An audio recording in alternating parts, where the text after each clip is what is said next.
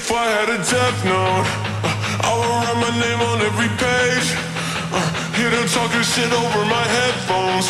Uh, every single word that they say. Uh, even if I could, I wouldn't let go.